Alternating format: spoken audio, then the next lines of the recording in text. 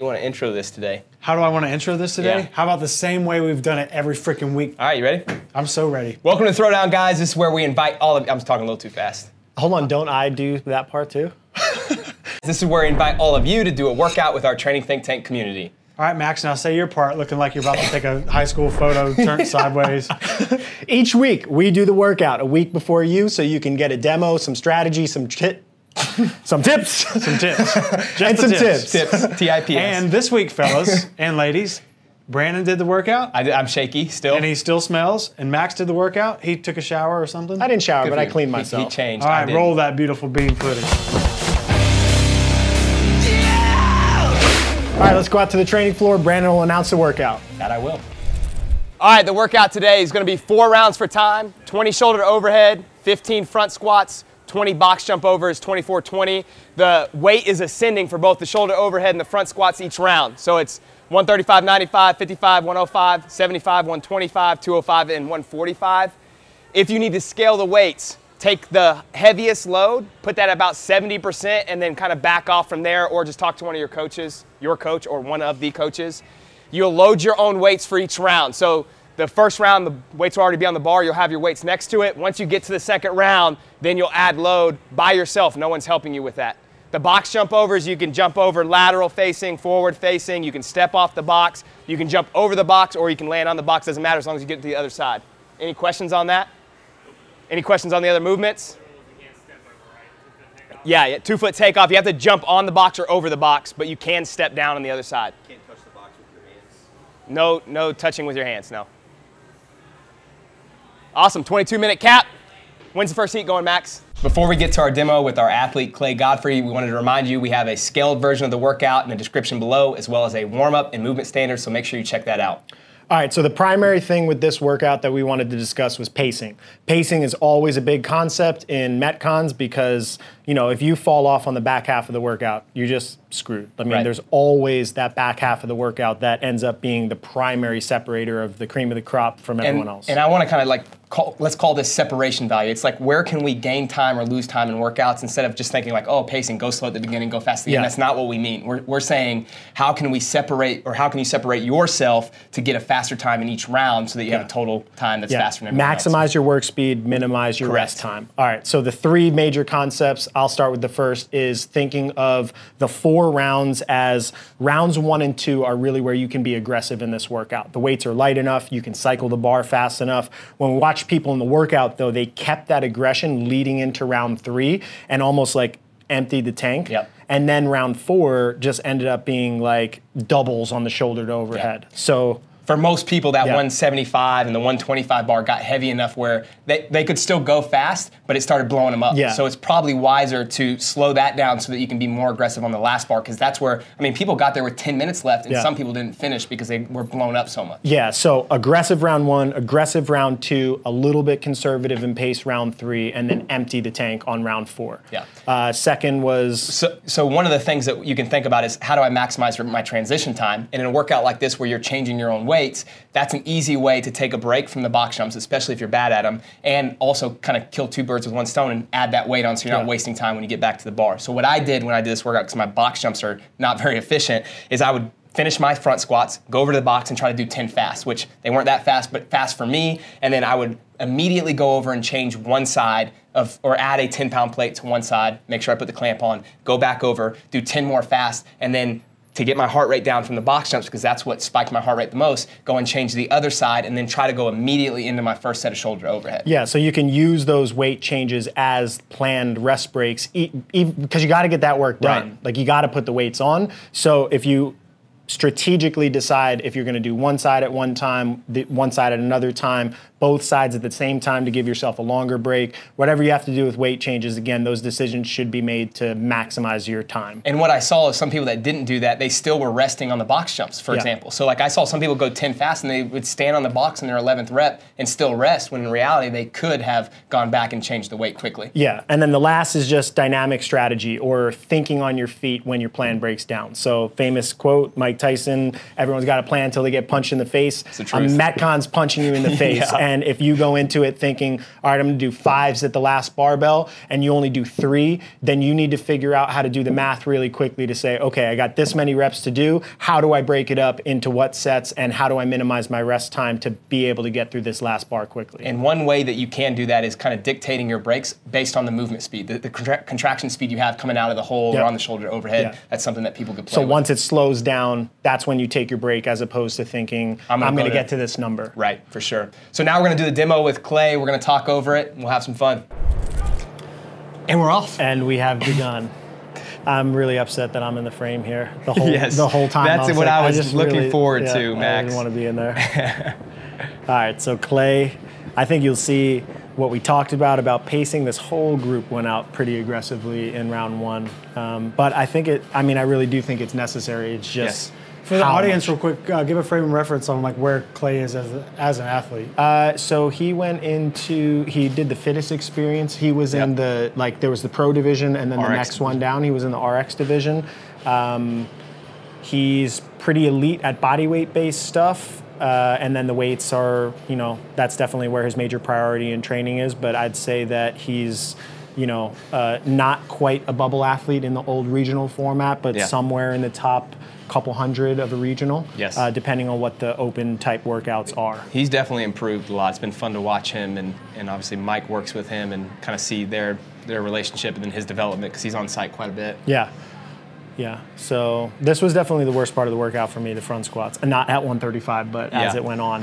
Um, the combination of going from jumping into, or from squatting into jumping was tough.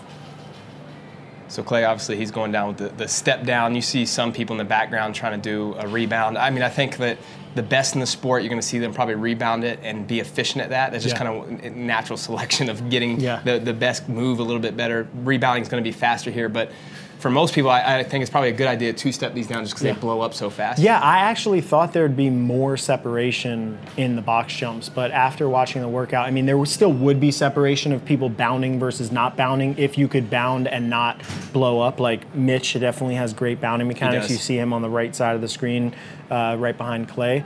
But it wasn't like a, the major thing that separated the workout. Well, what happened was it, it did maybe in the first couple rounds, but then the, everyone slowed down on the third bar and the fourth bar, so the, the box jumps didn't matter as much. Now, if you're talking about the elite level males and females at the games, something a workout like this came out, then that matters a lot more, and Yeah. the transitions. Yeah, I mean every detail at that level matters, Yes. and they're good at every Everything. aspect of the Exactly. game. Um, but for most people doing the workout, you have things that are exposing you. So for me in this workout, like my longer range endurance is going to expose me, my front squat positions, repeated jumping. So you have to figure out with those limitations that you have that you're working on in training, how do you maximize your score? Yeah. Um, for Clay, um, I don't know. Did you talk to him about his strategy, or Mike? uh, Mike, Mike coaches Clay about what his strategy was in the workout. I didn't talk to him about it, but one of you know I, I watched him. I had a couple other athletes go on this heat, but I was you know I knew he was the one that was demoing, so I wanted to kind of get a feel for where he was at. One of the things that we talked about before was weight changes, and you'll notice there he took you know about 40 seconds uh, before he started his shoulder overhead, which I think is just way too long.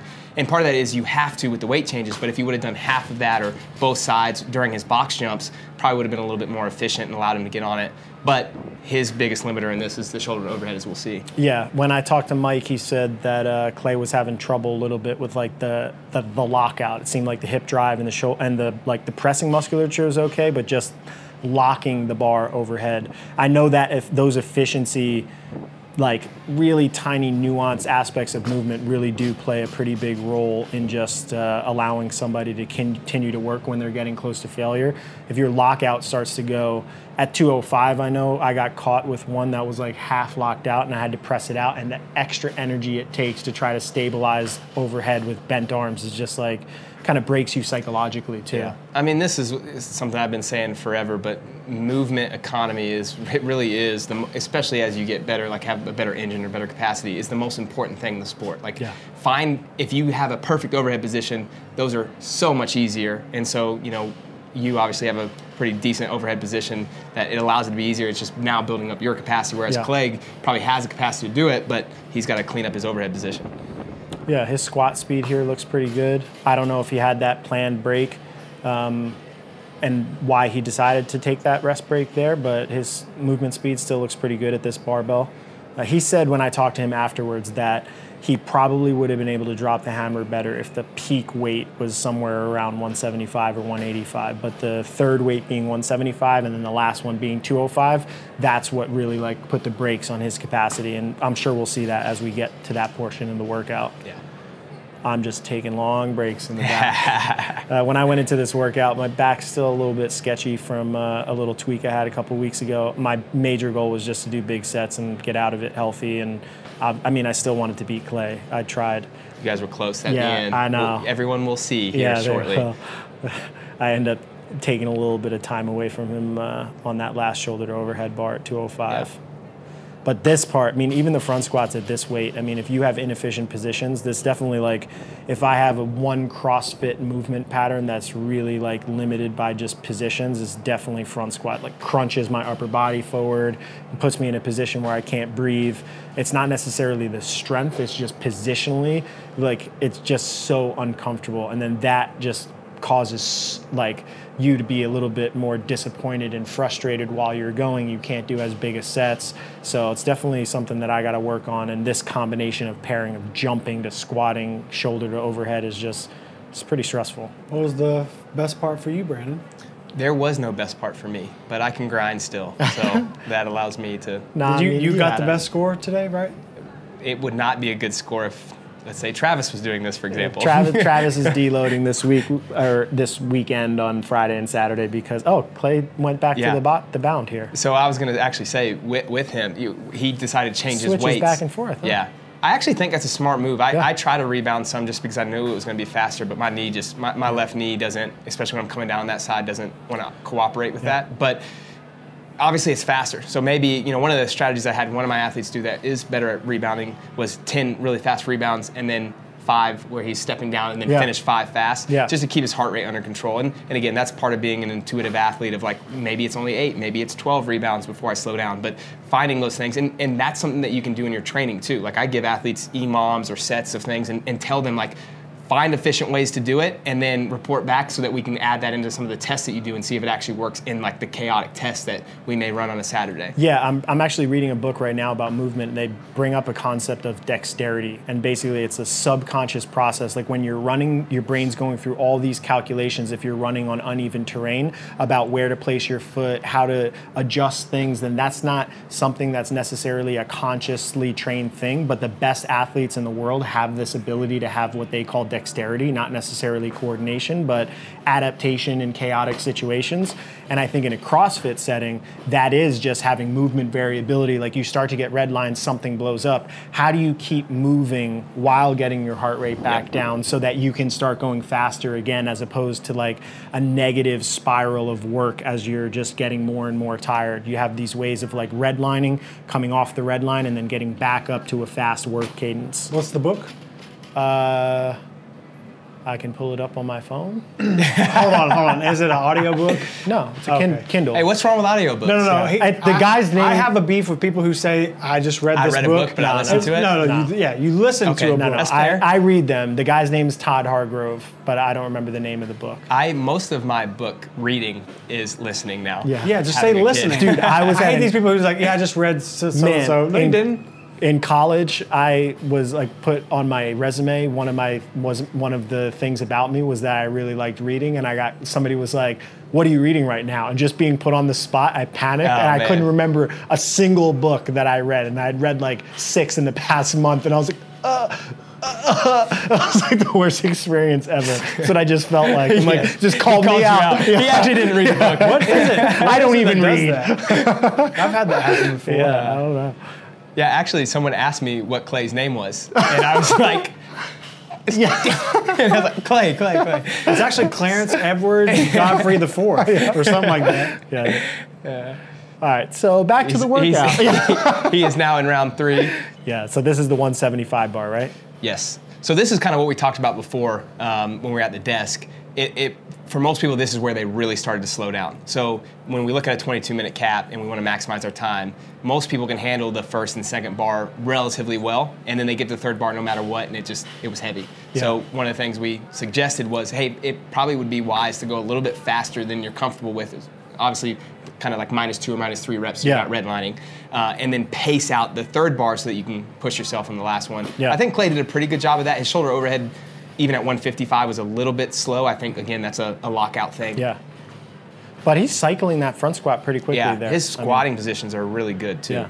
Yeah, when, his- when the workouts change so frequently, you're not doing the same stuff all the time. How do you find your red line and know? Is it just something intuitive after pushing past it so many times? Yeah, but so that's the thing that we talked about last week too. Of like, and I've become a big believer in this is training the patterns. Like the patterns don't don't change. Like there's there are really kind of four. Uh, there are more than this, but four main patterns of sport. There's a flexion pattern, which is all No, the I know, squats. but like if I mix like pull-ups and like a thruster, I'm way more tired than if I'd mixed. I think it is just experience, and your threshold kind of changes. So you go through like the point of failure so many times, and then you get back into it. You can start to sense when you're going to fail earlier. Do you think it's a good idea to like purposely go red line for a while so you have like a, uh, a Yeah. I mean, indication of where you're going to be? I don't know if it's necessarily purposefully redlining, but you do have to play the game. So we talk about pacing. Rather than being like a weenie about it and never getting Yeah, there. I generally say if you're practicing to get better at competing, when you're doing your competition based training, you should be a little bit on the conservative end in the front side of the workout and drop the hammer at the end. But when you're training, just be aggressive. Like get to the point of failure and see what your limits are because if you don't ever feel your limits, then you never like condition the ability to know Right. when you're actually failing versus when you're just too uncomfortable to continue to stay coordinated. And the thing is, again, like going back to the patterns, all of our athletes are training those things, so the movement may change. It may be a front squat one re- week and a squat clean the next week, and yes, those are a little bit different, but we know like that's a flexion pattern, and it, maybe it's muscle ups one week and then chest bars the next week. Those patterns are the exact same, so we know where the limits are for them, and then obviously experience. You just know like, hey, this is my threshold, and I'm Yeah. going to train that. I mean, I think that's one of the reasons why volume tolerance and getting and being efficient with movement is so important because you can practice more. I only have, you know, probably two to three metcons per week that I can tolerate, like just the intensity and the stress of those sessions. If I go at, you know, start to add more of that, my intensity just drops. Like my body just doesn't have the ability to do that. But then prescribing for somebody like Travis, like, you know, he could do three metcons a day and still bring the intensity. And then if he does that for a couple weeks, he'll it'll start to drop. So being efficient, getting practice, doing it for years at a time. Was Travis always efficient? Uh, I think he's still not like the most efficient athlete. I mean, at did he the have some level, like big holes yeah, that have I, been fixed? Yeah, they his overhead position used to be like his overhead position, his snatch used Yeah, to be I like mean- really, really, really inefficient relative to the field. I'd say th- three years ago when you guys were really working on it, I, it was it was really bad compared to the best in the sport, and he like made. Uh, he dedicated a lot. I think we should go back and like film that, and yeah, like say like yeah. this is what it takes. This is what his training question. program Yeah. What he did like. dedicated so much time. I mean, I mean, hours. hours it of was mobility incredible every day. And people don't see people. Sorry to cut you off, but I think this is really important that people know this because we have athletes that say like, "Why am I not getting better?" People don't realize how much time he puts in, or like a Fraser puts in, or Noah puts in to, Yeah. to be where they're at. I mean, it's just it's a it is a full time job and it's a lot of dedication. Yeah, and if you're not good at something, you got to do a lot of it. I mean, he snatched five days a week. He didn't snatch heavy to a max five days a week, but he did some sort of positional work five days a week. And some people in CrossFit are like, oh, it's distributing too much volume. But the best weightlifters, like Mat Fraser at some point in his life, was probably on a split where he was potentially lifting heavy in the Olympic lifts in the morning and the evening of mm-hmm. multiple sessions. You just get so much exposure to the actual movement pattern and your body in oh is this 205 This is 205 bar. your body basically just compensates to that stress to the point where it becomes more efficient Yeah. Um, so this is actually interesting because so you're you're still on your box jumps and this Yeah. kind of you you end up catching him but this is what this is the difference in like being able to handle those last loads. I mean clay i think did a pretty good job for where he's at but then he got to this bar and you can see the breaks are a little bit longer. He's only doing sets of you know four or five yeah i think what did he open with? Did he open with a four? Uh, it was four to five. Uh, i didn't count the reps but you know some of the some of the other guys that were in either the heat after the or before this, or some of the guys that went after, were able to do bigger sets on this heavier bar, and that's where they could catch up. Yeah. So he had good splits in his first two rounds, but you can see how hard the lockout is already. Yeah.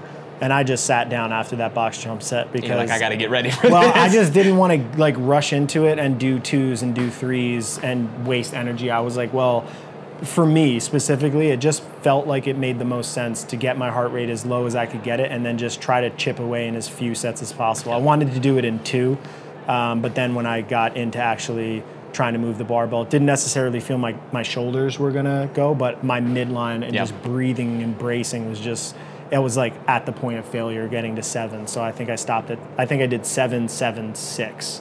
And he was i mean how long has it been? Probably over a minute minute and a half.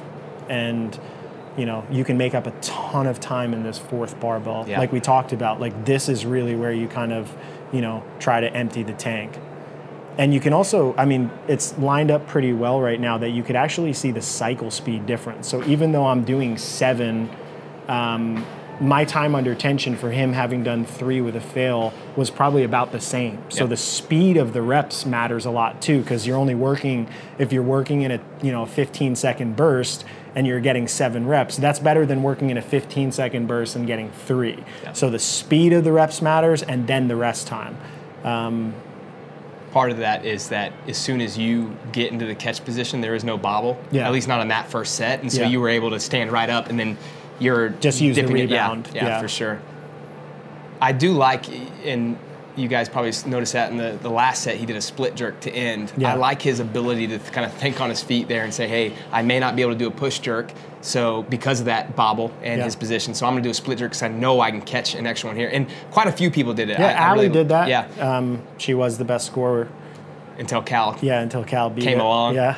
But Allie, I mean, she's gotten so much better at um, both shoulder overhead and her front, her squatting endurance has really Yeah. improved. But it was nice to see her like she was close to failure. She has had another hard training week, and she said her back was a little blown up. So she, when she was doing her push jerks on her second set, she basically was almost failing. Yeah. But she came back down and she ended up doing two more split jerks, and they looked really crisp. And then she just ended up doing split jerks on uh, the next couple sets to finish. Yeah, Noah actually has that variability too in the clean and jerk uh, gauntlet from the games last year when he walked around the barbell. He actually split jerked his Thanks for bringing that up again. I had to. I can't give him credit for that uh, dumb mistake. Uh, but The his chalk bucket, man. Oh man, that hurt. yeah, his split jerk speed is actually faster than most Yeah, people's it's- push jerk. He can like The way he split- catches it and dips too is, and is very fast. So it, it is definitely a skill that I think people should cultivate. If like you're, you see Clay, like he gets overextended there to try to stabilize. It's just not really a super stable position to be in overhead. But when you split jerk, it takes some of the demand away from that position and kind of helps you get a more stable platform to press against than when your feet are parallel to one another. So it's something that people should probably play with and maybe can be one of the technical things people work on if they're watching this on Thursday and you're doing it on Saturday. Friday, just practice doing split jerks where you reset your feet pretty quickly. Um, is he done with his push jerks? We are about to find out. Yeah. That So- face you just made was Dude, awesome. I was. You're like, oh man, Yeah, I was in a hurt, and it was also so hot. Like, it was just- hot today. Just, and that makes your heart rate go even like higher. You're just like, oh god. Y'all watching Stranger Things? Yeah. Season three? Yeah, I'm two episodes in. I heard that it gets better as you go, but I. I've That's what they tell it. you, so you continue to watch. Yeah, they just keep you. Yeah. They keep you hooked. Oh no, the third Yeah. third episode's better. Oh, I don't know. I think Clay got a bad rep there. Should talk to his judge. Man, I didn't realize that it chewed him up this Yeah. much. If I had seen that, I probably would have gave me a little bit more motivation to beat him. So this is one of the things too. I think people can learn from. I, I just don't think you want to go to failure. And I know that he was trying to finish and Yeah. beat you, but Yeah. when you feel And yourself, he had the camera on. Yeah. so He He had probably it, wanted yeah, yeah, Yeah. for sure. I mean, look, I get it. I, I've been there plenty of times, but this is something that we can learn from, and that that ends up taking much more out of you, and it's a longer rest break before you get back on the bar. That's a Do you think if cleaner. Solid, he yeah. had dropped it, we would have said the other thing though? Like, oh man, you should have just squeezed it out. Yeah, probably. Yeah. Well, so now now we know that was his last rep that he actually missed. Yeah. And he- so I get that. Um, But it also, one of the things that I made sure I did every round was look at you over there. Damn it, Chris. My, I talked to Travis about his resting can't. posture. Yeah. I just basically. Travis, stop slouching. Yeah, I, went to, I went to sleep in the workout. Are you done? Is the workout over? No, I'm just laying down. You're on not the, box, worst baby. cannon over there. I thought he was done like six times. I'm like, nice job, man. 15 minutes. Oh, wait. Oh, he took his belt off. I think he took his shoes off at Yeah. one point. My feet did start cramping in the workout, but it just kind of went away at some point. I didn't count how many Clay did there, but he was actually moving that 205 pretty well. He's uh, definitely a much more efficient squatter at this weight than he is shoulder to for overhead. sure. In all of his rounds, even the 135, the, the squatting looked much more efficient than the shoulder overhead. It's a good thing to look at, and then obviously something that he and Mike can talk about and say, hey, this is a this is a big limitation for me compared to where I'm at with the, squatting. I mean, those Yeah. are fast. That's 205 Yeah. at the end of this workout was heavy. Yeah, he talked about having having the ability to kind of bounce out of the hole here, um, which definitely makes a big difference. My big bald head just came back in the frame. yeah, I did three sets of five. I think he did three sets also because I know we got there pretty close to the same time, and then we got to the box. Well, you'll see it. I'm not going to spoiler. We got Brandy on the bike. pleasure. Oh yeah. Just wanted to give Yeah. her a shout out. Yeah, she was cheering me on. She's like, "Come on, Max, one more set." I'm like, "I know." When people say that, like I get Brandy's one of those people that Yeah. you that does because you know she holds herself that yeah, accountable. Yeah. So but other people, you're probably like, just shut up. I'm like, I want to see you do this workout before you're yelling at me to go faster. All right, so this is his last set of front squats. I think you're on your last. Set. Yeah, you can right? kind of Yeah. see the edge of my barbell going up. I think I've done three. I did five, five, five. So this will be like four, and then I got. I think I got one more. Yeah, and then I noticed I got to the box and I saw him go over, and I was like, I can't rebound 20 reps right now. Was it your quads or just like? It was like just everything. Like I was Blown up. dizzy, quads, heart rate. Um, my plan was to try to do this. If I got there faster, was to do this um, until he got to the box and then try to rebound Yeah. to finish. But when we got there at the same time, You just. I mean, I don't. Maybe that's just soft of me that I kind of gave up. But I almost like fell on the box. I was just my coordination at that point was just gone, and I didn't think I had the ability to rebound. And oh, look at that. He was did, though. uncomfortable. Yeah, he did. I like how. You, I mean, that's the way you got to finish Yeah, a workout like he- that. If you have the rebounding capacity or ability. Yeah, I like how it seems like everybody who drops the hammer with good rebounding ends up ta- wanting their shoes off almost immediately Yeah. from foot cramping. I wonder if it's just like the tension in the foot from absorbing all that force or what it is, but it seems like a pretty common theme. Yeah, I couldn't do it, so I don't Yeah. know. I don't know how that feels. I don't have that. Is that the end of the The workout? end. that's Chris. the Who, end. who wrote this Satan workout? Mia, Oh, get her on camera. All right, so you just watched Clay do the workout. His time was 21:11. He just beat the time cap by about 50 seconds. The score profile from our training group went from Brandon at 16:30 all the way down to 177 reps. The female side, we had Allie finish in 14:45 all the way down to 184 reps. We think that on the female side and the male side that you probably could get down into the sub 12 range for somebody that can cycle that last barbell at really fast pace and still do all the box jumps bounding and unbroken. But this should give you a little bit of context to be able to say you know do is there somebody on this list that i can chase? Are there any scores that make sense relative to what my capabilities are? And hopefully you can use that to put your best effort out nice. I mean, you know what? I was really Men's proud that health. you knew what a hole in one was. He thought I was making a sexual joke. No, no, no, because I no, was no, no, like- no, no, no, no, no, no, no, no, no. I'm like, there's no hole No, in ones no, right now. Jordan's this- nine months yeah, pregnant. There is no fool- sex this going fool, on. He comes up to me, he goes, I got a hole in one the other day. And I kind of like, like looked at him like, damn, that's awesome. And he goes, you know what a hole in one is, right? And I was like, oh, I guess he meant something different than golf. I was like, who, who, who doesn't know what a hole in one is? I'm catching a cramp in my back. Uh, so breaking news alert, uh, Cal did this after we filmed the scores and she got 1308. Yeah, she's Which a was freaking two minutes monster. better. We're, we're rolling, by the way. Go Oh. ahead. She's very strong. yeah, yeah she She's probably stronger than would- both of us. she would have beat me if she used male weights Look, one of the things that we're trying to do with these these workouts in the videos is help you maximize the score on the day of, right? But the reality is, especially with workouts as the weight ascends and it gets pretty heavy, you got to start thinking about your long-term development and and look at these workouts and the ones that you're not doing well on. And ask yourself how you need to get better and what you need to get better at. Yeah, so we can help obviously with our online group training program, the design, or one on one coaching, but make sure you're just thinking about how to get better long term and not just maximizing your scores on these workouts because if you do want to be an athlete in the sport, you're going to need to develop longer term with all the skills so that you could race more effectively. Or you can go over to ddpyoga.com and get a free seven day trial. yeah. Yep, that's always a Yep. good option if you need to be more flexible and inspired. Do that and then do this workout. Have fun, guys. It's a wrap, you know what I'm saying? Your boy Project Pata in this thing, man. Hey, look, man, thank y'all for watching Training Think Tank's YouTube channel. Y'all hit that motherfucking subscribe button, you know what I'm saying? So y'all go ahead, man. Thank y'all for watching the channel, you know what I'm saying? Hit that motherfucking subscribe button, let it be known, what it be known, what it be known, you know what I'm saying? Pata.